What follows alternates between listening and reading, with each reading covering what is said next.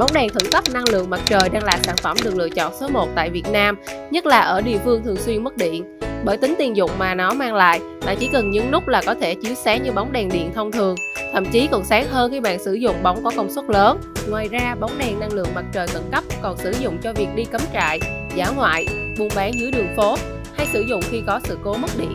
Tính năng nổi bật của bóng đèn năng lượng mặt trời Thứ nhất, hiệu suất chiếu sáng cao. Đèn sử dụng chip LED thế hệ mới, đảm bảo đèn chiếu sáng hơn 30.000 giờ với độ bền cao và độ sáng tăng 30%. Góc chiếu 240 độ cho ánh sáng lan tỏa rộng, soi sáng cả một vùng khu vực lớn. Thứ hai, độ bền cao. Đèn năng lượng mặt trời chính hãng sử dụng pin công nghệ lithium phosphate chống chai pin, có tuổi thọ siêu dài với số lần nạp xả lên đến 1.500 lần. Thời gian chiếu sáng liên tục 10 giờ, thời gian sạc chỉ 6 đến 8 tiếng khi đủ nắng. Thứ ba, khả năng an toàn cao đạt chuẩn quốc tế. Tấm pin và đèn có khả năng chống nước theo tiêu chuẩn IP20 nên khi sử dụng dưới trời mưa bạn không sợ hư hỏng. Ngoài ra vào những ngày trời mưa bão bạn có thể sạc trực tiếp bằng điện qua dây kết nối với củ sạc điện thoại để sạc qua điện lưới, sạc dự phòng hay laptop. Thứ tư, kiểu dáng hiện đại, chất liệu bền bỉ. Đèn búp năng lượng mặt trời có thiết kế nhỏ gọn, tiện dụng, được làm bằng chất liệu nhựa BC chống vỡ, Chịu được va đập nhẹ giúp bóng đèn rơi từ độ cao 5m không nứt với độ bền cao và tỏa nhiệt tốt. Thứ năm, giúp gia đình tiết kiệm điện năng.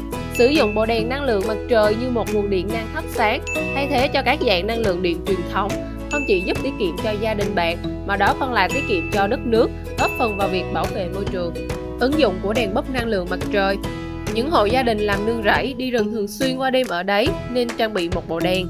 Những ai hay đi thuyền bè trên sông, trên biển cũng nên sử dụng bộ đèn này. Các công trình đang xây dựng vào buổi tối nếu không có đèn sẽ rất nguy hiểm. Sử dụng đèn sẽ dễ dàng soi sáng ở một khu vực lớn. Các anh chị, cô chú bán hàng rong có thể sử dụng đèn LED thay thế cho những bộ ắc quy cồng kềnh.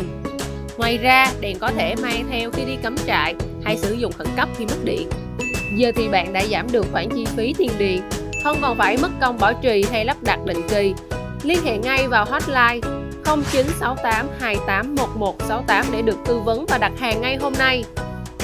Garant chúng tôi cam kết hàng đúng chất lượng, đúng mẫu quảng cáo, giao hàng nhanh chóng COD toàn quốc, một đổi một trong vòng 7 ngày, bảo hành trong vòng 12 tháng